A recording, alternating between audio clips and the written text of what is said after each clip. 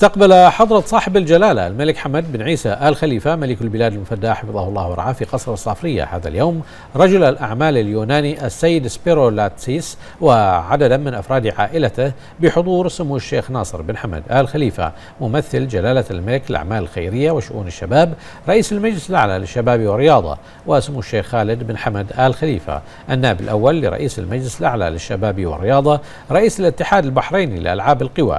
وذلك للسلام على جلالته بمناسبة زيارته للبلاد لحضور سباق جائزة البحرين الكبرى لطيران الخليج للفورمولا 1 2019 ورحب جلالة الملك المفدى بالسيد سبيرو لاتسيس وعائلته وأشاد بالعلاقات الثنائية التاريخية الوطيدة التي تربط مملكة البحرين وجمهورية اليونان الصديقة.